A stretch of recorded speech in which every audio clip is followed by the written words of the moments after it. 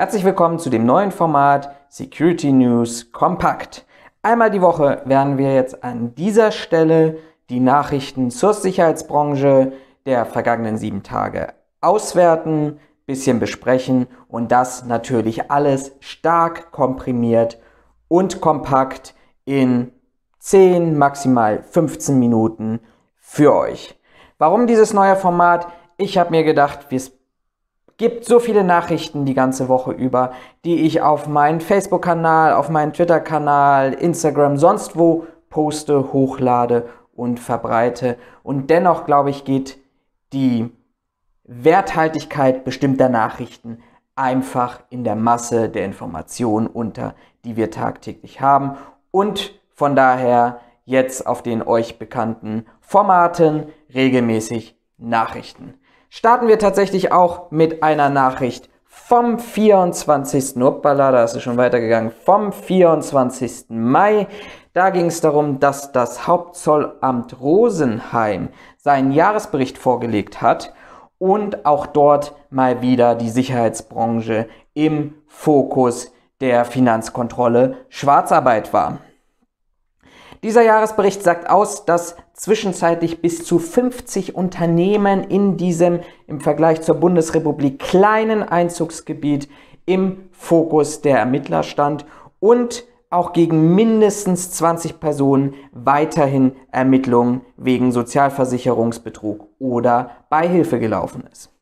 Ihr könnt euch vielleicht erinnern an unsere dritte Podcast-Folge. Dort haben wir auch über die Kontrolle in der Allianz Arena während des Audi Cups gesprochen und auch dort schon darüber diskutiert, wie es sein kann oder was die Hintergründe sein können, dass praktisch bei dem Aufschlagen der Kontrollkräfte dort ja mindestens 50 Prozent der zu kontrollierenden Personen verschwunden sind und auch darauf geht der Kontrollbericht ein, der Jahresbericht nochmal ein und sagt, dass es dann bei den noch weiterhin 50% angetroffenen Personen von den 50%, die sowieso verschwunden waren, bei jeder zweiten zu kontrollierenden Person einen Verstoß gegen sozialversicherungsrechtliche, ausländerrechtliche oder gewerberechtliche Ermittlungen gegeben hat.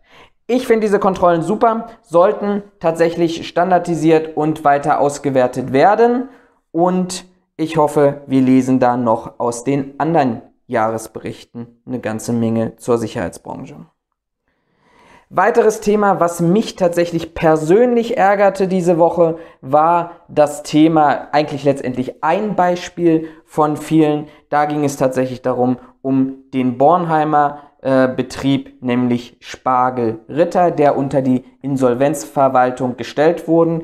Die Erntehelfer, die dort noch untergebracht wurden oder waren letztendlich, wurden durch einen privaten Sicherheitsdienst versucht ähm, vom Gelände zu verweisen, beziehungsweise auch aus den Unterkünften zu verweisen. Und da stellt sich bei mir natürlich die Frage an dieser Stelle, hat Corona die Arbeit der Sicherheitsbranche verändert. Ja, das glaube ich, vor allem wenn ich feststelle, in welchen Diskussionen wir uns eigentlich an überall befinden während der Corona-Branche, dass verwaltungsrechtliche Vorschriften durch private Sicherheitskräfte umgesetzt werden sollen, wo es tatsächlich explizit im Gesetz im Paragraph 34a drin steht, dass es um die Bewachung dritter Schutzgüter geht, um das Leib und Leben von Dritten und nicht um die Durchsetzung und den längeren Arm von Verwaltungsbehörden oder Ordnungsbehörden sein soll.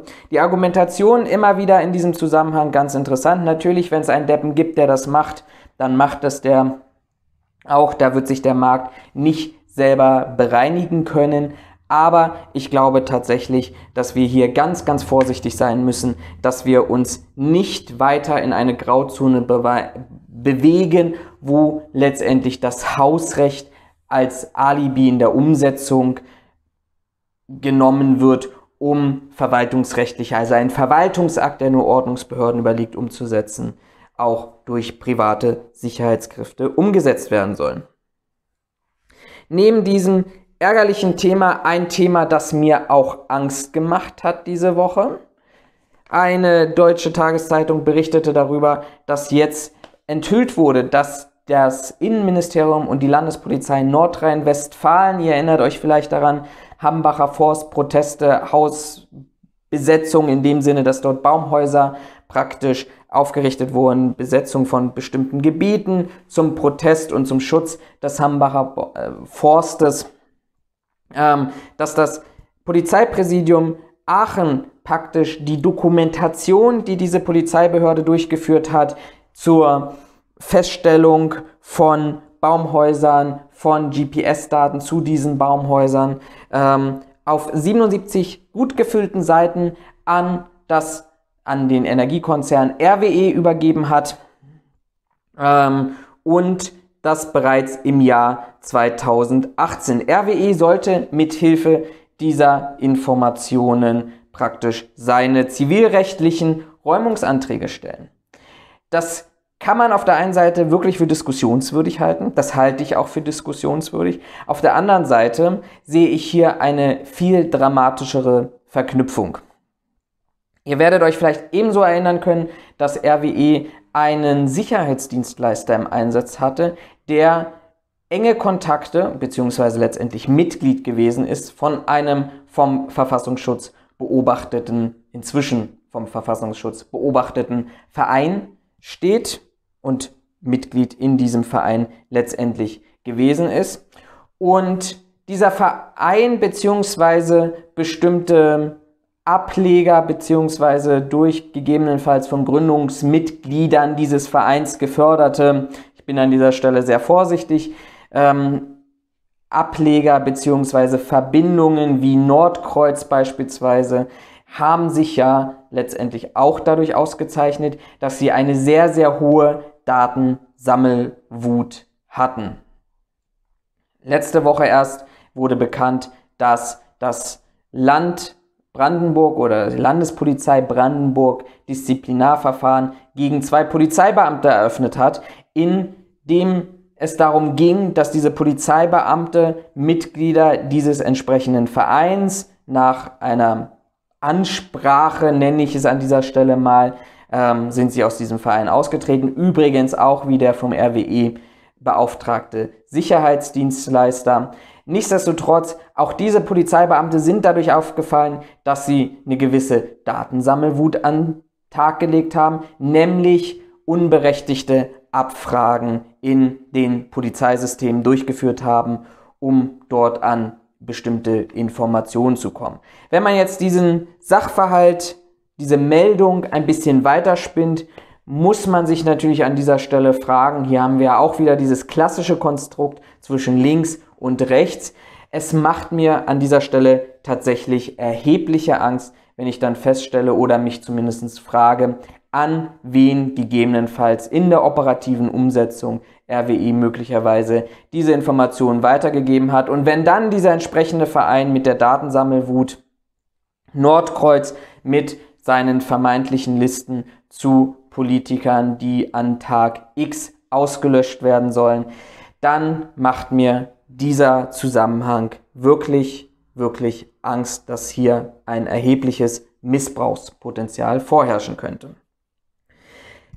Dann eine Information aus dem Europarat diese Woche und zwar die Warnung von Sicherheitsexperten, dass möglicherweise die Corona-Pandemie dazu genutzt werden könnte, dass sich terroristische Organisationen ein Beispiel daran nehmen, mit zukünftig mit biochemischen Waffen anzugreifen bzw. ihre Anschläge zu verüben. Warum ist das so? Naja, die Experten begründen ihre Einschätzung damit, dass letztendlich die Corona-Pandemie, also ein Virus, zeigen würde, wie vulnerabel unsere Gesellschaft ist, welche hohen Schäden dies in der Wirtschaft, in der Ökonomie, gegebenenfalls auch in der Politik und im gesellschaftlichen Miteinander verursachen würden und dass dies im Vergleich vielleicht zu klassischen Anschlägen ähm, eine neue Methodik sei, ein, eine größere Auswirkung, einen größeren Schaden herbeizurufen. Deutsche Sicherheitsbehörden entwarnen jedoch, ähm, es gibt derzeit keine konkreten Informationen. Auch diese Woche durch alle Medien gegangen letztendlich. Es ist nämlich wieder Zeit für die polizeilichen Kriminalstatistiken. Horst Seehofer hat dazu schon die erste Pressekonferenz abgehalten. Auch das Land Nordrhein-Westfalen hat seine Informationen ähm, und seine Statistiken veröffentlicht. Hier ein Aspekt, der wirklich auch Angst macht, nämlich dass mehr als 18.500 Polizeibeamte in Nordrhein-Westfalen Opfer von einem tätlichen Angriff im Dienst geworden sind. Wenn man das hochrechnet auf die Gesamtzahl von 40.000 Polizeivollzugsbeamten im Land, dann kann man Pi mal Daumen sagen, dass etwa jeder zweite Polizeibeamte angegriffen wurde. Zudem ähm, würden die Bedrohungen mit Schusswaffen zunehmen. Die halten sich zwar im geringeren Bereich, aber eine Zunahme ist tatsächlich dann doch immer wieder beängstigend, auch unter dem Hintergrund, dass wir in Deutschland doch recht strenge Waffengesetze haben. Ja, dann vielleicht ein klein wenig eine Meldung mit einem Augenschmunzeln. Nein, nicht mit dem Augenschmunzeln, mit dem Schmunzeln in den, auf den Lippen. So, und ein Augenzwinkern. Ähm, aus Siegen, dort musste nämlich die Feuerwehr Siegen einen Sicherheitsmitarbeiter aus einem Geldtransporter befreien, denn ähm, die Sicherheit des Fahrzeugs wurde zu einem echten Problem für ihn. Offensichtlich gab es einen technischen Defekt und der Mitarbeiter war in dem Fahrzeug eingeschlossen gewesen. Die Feuerwehr musste mit schwerem Gerät anrücken und den Mitarbeiter befreien. Ähm, dazu gibt es auch ein Video auf Bild.de. Ich finde das ganz interessant, dass die Feuerwehr Siegen dort echt erhebliche Probleme hatte, diese Geldtransporteur, dieses Geldauto zu knacken. Wer sich vielleicht an den letzten großen Coup aus Berlin am Alexanderplatz erinnert, dort haben Täter es innerhalb weniger Sekunden geschafft, die, den Wagen zu sprengen, die zu spreizen, aufzuhebeln und ähm, da kann die Feuerwehr vielleicht daraus noch was lernen. Ein ernsteres Thema aus Südamerika, Panama, Kolumbien und andere südamerikanische Staaten. Hier geht es darum, dass vor allem aufgrund der Corona-Beschränkungen Transgender ein erhebliches Problem haben ähm, mit der derzeitigen Situation. Warum ist das so? Transgender-Personen würden von Sicherheitspersonalen und Polizisten im öffentlichen Leben diskriminiert werden. Hintergrund ist der Umstand, dass es Gesetze in Panama gibt zur Eindämmung der Corona, des Coronaviruses, die besagen, dass Männer und Frauen an getrennten Tagen auf die Straßen gehen und einkaufen gehen dürfen beispielsweise. Das führe tatsächlich zu dem Problem, dass ähm, die Legitimation mit dem öffentlichen äh, staatlichen rechtmäßigen Dokument wie ein Personalausweis beispielsweise ein anderes Geschlecht aufweisen würde, als diese Person vielleicht äußerlich darstellt. Ähm, und das führe zu einem wirklichen Spießrutenlauf, ähm, beispielsweise an Supermarkttüren. Das scheint das transsexuelle Leben oder die Akzeptanz gegenüber transsexuellem Leben und Geschlecht tatsächlich noch nicht in der Gesellschaft verankert zu sein. Heute enden wir mit einem erneut ärgerlichen Bericht, nämlich aus Nördlingen, basierend auf einem Beitrag von 2019. Große Aufregung hat es dort gegeben, weil ein und derselbe Sicherheitsmitarbeiter im Anfang Januar und in der Silvesternacht vor allem zweimal angegriffen wurde durch eine unbekannte Person, offenbar mit Migrationshintergrund. Große Diskussion in der Branche und in der Community. Jetzt kam raus, der Sicherheitsmitarbeiter hat diesen Angriff ähm, und die Bedrohung nur erfunden und vorgetäuscht und sieht sich selber jetzt mit Ermittlungen konfrontiert. Das war's von Security News kompakt für diese Woche. Bleibt gesund, bleibt sicher und ich freue mich auf euer Feedback. Macht's gut, bis zum nächsten Mal.